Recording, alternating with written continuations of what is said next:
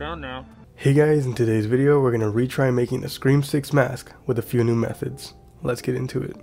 So before we begin, I just want to give a quick shout out to 713 Ghostface for a few of the methods I will be using during this video. I did watch his tutorial and it just came out really really good. I wanted to give it a try for myself. So I will be using this wood burning tool that he did recommend using for the cracks as well as this E6000 in black for some color and texture and hopefully all goes well. So now we can move on to our supply list. So our canvas for today will be this UA EU mask. If you guys are looking for some EU masks at an amazing, unbeatable price, be sure to follow and message me on Instagram for the link.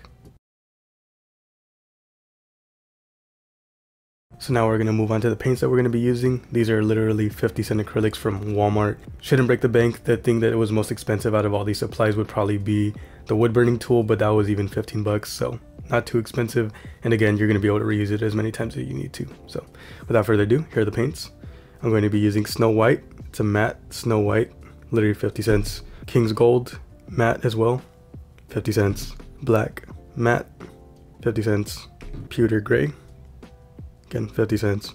I'm not to say it again. Satin, Classic Caramel. There it is. E6000 in black.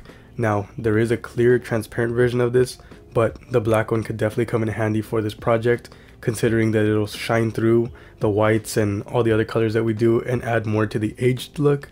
If you do go with clear, it'll still work for texture, but the black will definitely make a difference.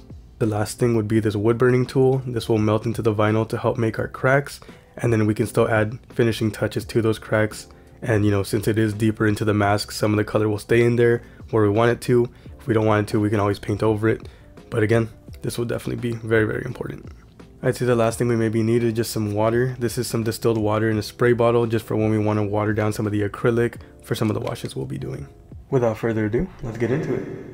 Alright, so now we have our mask laid out. We're going to start with our black E6000 for some texture. It is best to use some protection for your hands, such as some latex gloves. If you're allergic to latex, of course you want to use something else, just as long as it doesn't get stuck to your hands and you don't risk getting it in your eyes or just maybe stuck to the cabinet next to you. So as recommended by 713 Ghostface, one pass of the black E6000 is the perfect amount, so that's what we're going to do now.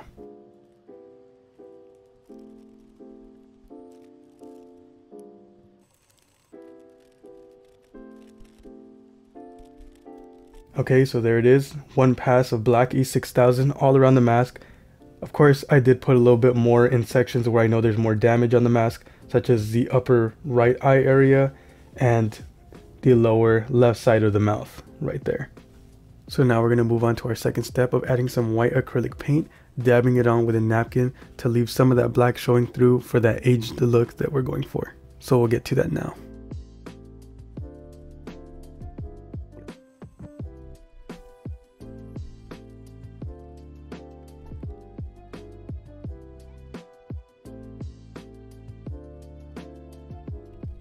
So as you can see, I did my layer of white and made sure to dab enough that you can see some of the black through it. And now it gives it more of a layered look. And that's exactly what we want. I did, of course, get some on the mouth and I feel like that might get in the way later, but I will try to find a way to get that off. The next step will probably be adding in some of those yellows and browns and we'll get to that in a second. For right now, I'm just going to try and fix this a little bit, add a little bit more to this chin part, and then we'll get to the next step. Alright, so I did go over the mouth with some black acrylic just to get rid of that ugly white that was left over from the last step. But we're going to continue with a classic caramel to add some of that weathering effect. So I do have a cup of some water and um, our classic caramel. So we're going to get our brush. I'm going to be using, again, this little soft makeup brush. I don't know if it makes that much of a difference. I will have a napkin ready to dab away some of it. So we're going to dip into our brownish color dip into some water so it's not too heavy. It's a lot more watered down. I'm to lightly dab onto this napkin to get rid of a lot of the excess. And I'm going to get ready to use it for when we're to start wiping it away from here. So I'm to brush some in right there.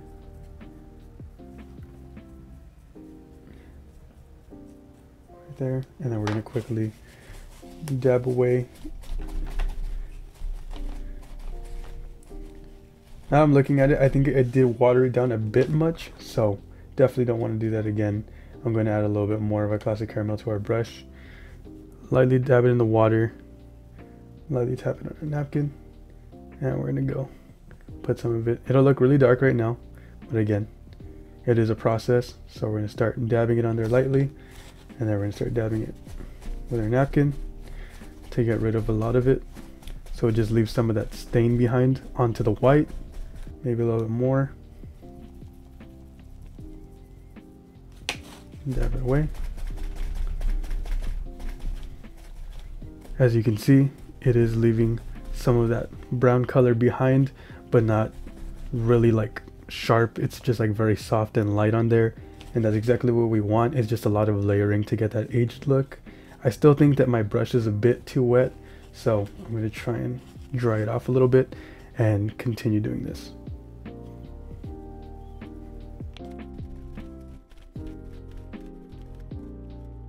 Think that's looking a lot better like that. I don't want it to be too harsh because then if it's too harsh, it looks a little bit cartoonish. Of course, that's not what we want. We're gonna keep doing our layers little by little. So let's continue with that.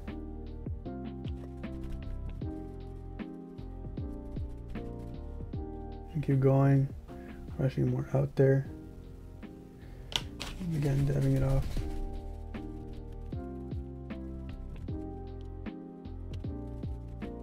I think I'm doing it too lightly, so I'm gonna probably just do a lot less water because it's not leaving too much of that wash that we want behind. So we're gonna make it a lot more paint than water. It's a little bit better. Staying there, but not too much, just how we like. Again, you can choose where you want it to be the most yellow but for me I'm going to go mostly around the edges of the eyes. I just want to make sure I add a good amount of yellow where it's noticeable but it's also not too much. I'm gonna go around the eyes here around this area dab it off leave some of that yellow there. Looks really nice already. Starting to look pretty good. I'm gonna go and do this side. Nice and yellowish. Not overdone. Perfect Go down the center of the eyes. I'm gonna try this, see how it looks. We're gonna go under this eye also.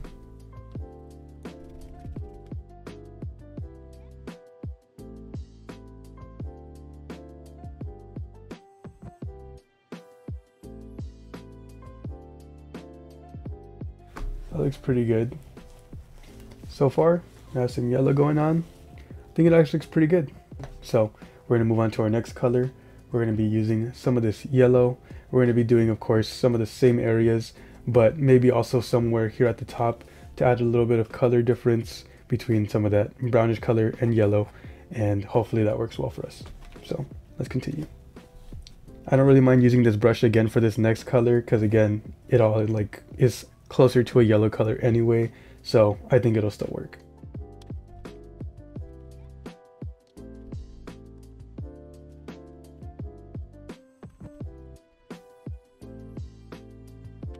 So me personally, I love the scenes where the mask looks more of a yellow than blue in like the convenience store scene, for example. Um, so I will try to do a little bit more yellow around the mask to make it obviously have that orangish kind of yellow tint to it overall. And hopefully that works well for me. So yeah, we'll continue. Working on the top of the forehead here. And dab it away. I made it a little dark, so hopefully it doesn't look overdone in a second. Adding some more classic caramel, some water.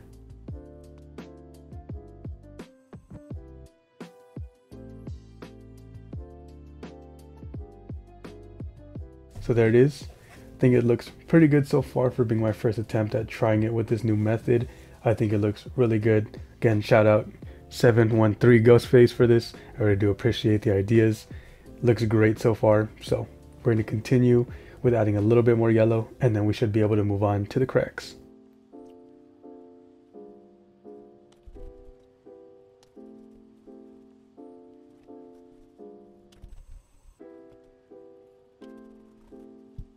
So our next step will be using the wood burning tool. I'm going to be using two different pictures for reference to hopefully make it as accurate to the movie as possible. I'll put this on screen for you guys. And um, again, this is my first time using this tool, so hopefully all goes well. Let's get to it.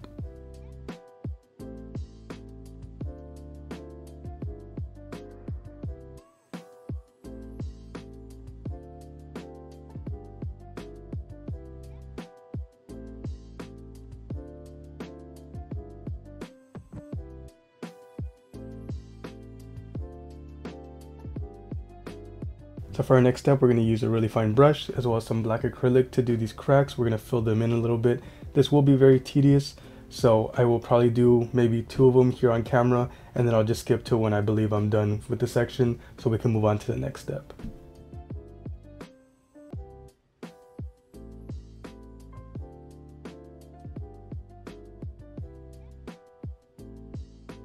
So as you can see, we filled in those cracks with some black acrylic, but it is a bit harsh. So what we're gonna do is we're gonna water down some white acrylic, brush over it, and then dab it away as we go along, and hopefully leave some of that black shining through, but not too much to where it looks cartoonish the way it does now. So we're gonna do that next, and I'll skip to when I'm done with that.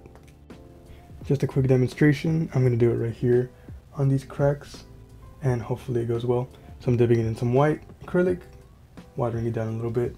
I'm gonna brush over it lightly you want it to be watery. You don't want it to be super thick so it's just solid white because obviously it's going to show way more white than black and then it's just going to be solid white instead of solid black. It's just going to look terrible. So you want to water it down to where some of that black shows through but not all of it. So it's like a perfect balance. That's exactly what we want right there. So here on the eye areas I did some white but it did turn out to look a little too white. So I basically did the exact same thing but with some gray and I think it turned out pretty good where you can see those cracks in there but they're not super solid black and a little too cartoonish so the next step is going to be painting in those forehead cracks or damage with some gray paint so we can fill them in and make them dark let's go on to that so I think I'm going to consider the mask finished at this point. I think it looks pretty good. It's at least to my liking.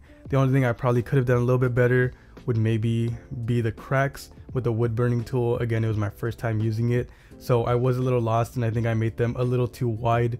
So maybe in the next attempt, I'll be able to do it a little bit better. But for now, I will make the closing of the video so you guys can see it a little bit better. So there it is, our finished Scream 6 mask, thanks to the ideas from 713 Ghostface. This definitely came out a lot better than my last attempt, and without his help, it would not have come out like this. I will be leaving a link down below to his channel so you guys can go subscribe to him and check out his video. I'm sure he explains it a lot better than I do. I just wanted to follow along and see how well it came out. There's a very specific reason I made this video because the next video is going to be something really awesome. I'm very excited for it. So stay tuned, subscribe, like, comment, all of that. I'll be getting back to everyone the soonest that I can. Any and all support to the channel is greatly appreciated. I'll see you guys in the next one. Thank you so much for watching.